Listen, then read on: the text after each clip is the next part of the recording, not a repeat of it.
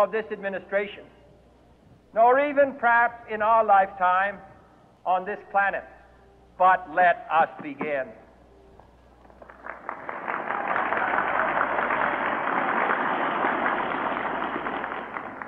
In your hands, my fellow citizens, more than mine, will rest the final success or failure of our course.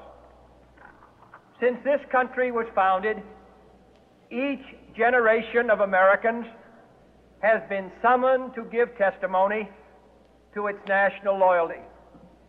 The graves of young Americans who answered the call to service surround the globe.